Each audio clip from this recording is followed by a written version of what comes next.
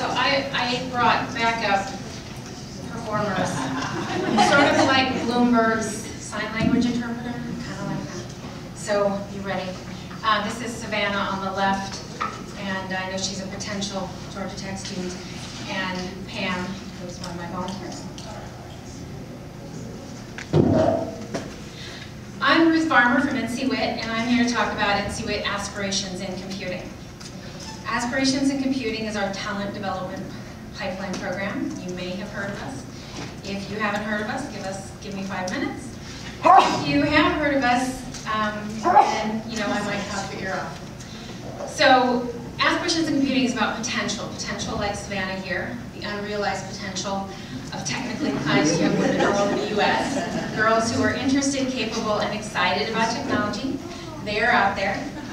It's about giving them a great big dose of encouragement, inviting them into a community of peers and connecting them to the networks and opportunities they need to succeed. Why? Because they need it and because we need them. There's a lot of them. There's, um, this is just the applicants from 2013. Since 2009, more than 10,000 girls have registered for this program. That's 10,000 girls that self-identify as technical, enough to sign up for a technical award program. So the question is how do we get them to stay on this pathway to a technical career? Training and hiring teachers won't happen fast enough. And guidance counselors are stretched very, very thin with you know 300 to 500 students per counselor. So how do we make sure they know what's possible? And then we're facing this big uphill battle of the media and forces at work to discourage girls from seeing themselves as technical. Peer pressure, discouragement even from family and other and teachers. So either they're not there at all, or they're an accessory, they're on the margins, they're the antithesis of the technical person, the girl who doesn't get that nerd stuff and is there to be pretty and funny and just, oh my gosh, I'm so confused about all these things you're doing that are so smart. So, they're the consumers of technology, not the experts. So a teacher of ours shared a story of a student wearing an IBM Master the Mainframe t-shirt in line at Starbucks with her boyfriend. Man comes up behind her and says, which one of you mastered the mainframe? She says, I did. And he goes, oh, I thought you borrowed your boyfriend's t-shirt. Oh. So the message is coming at them both overtly and covertly, girls, you don't belong here. This is just one of the many obstacles in front of them. If you add in the fact that there's classes are virtually unavailable, that's a big problem.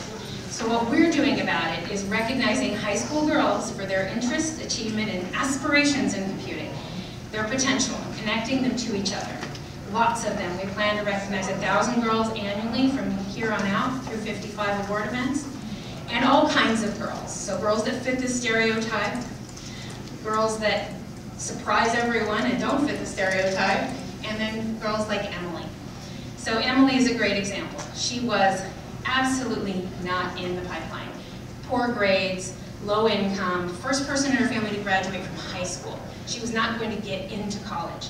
But she got our award and she got connected to Indiana and Purdue and a bunch of other universities and they fought over her and now she's a freshman at Purdue. So it's also a community. We bring these girls together in person at award events, meetups, reunions. They do technical projects together. They're building a mobile app. They're doing video contests. They're doing game design together. And then they connect on Facebook. They have these conversations, these beautiful conversations where they are telling each other, um, giving advice, inviting each other to come visit them at college, all to reinforce their technical interests and provide them the support they need when the going gets rough. We also provide visibility, like inviting Savannah here. We get girls to present and speak on half of NCWIT. We go to conferences like Hopper and SWE. We take them to the White House. Um, we had girls at the CS Ed Week kickoff in New York City. I took some girls to Hollywood this year. And then we've got more than 30 universities that give automatic scholarships to these girls.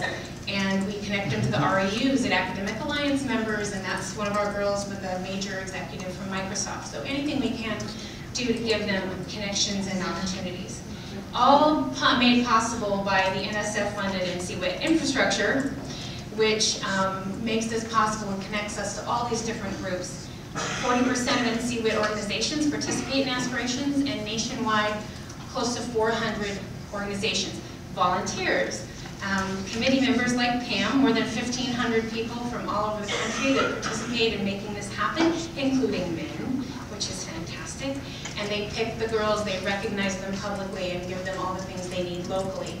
So here we have this year 54 programs that will recognize 1,000 girls.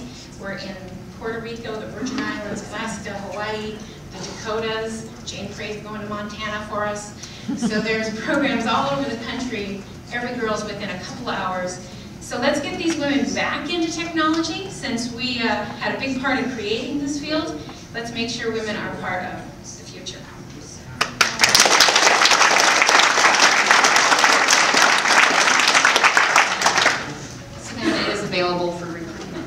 the future. Savannah is available for recruitment.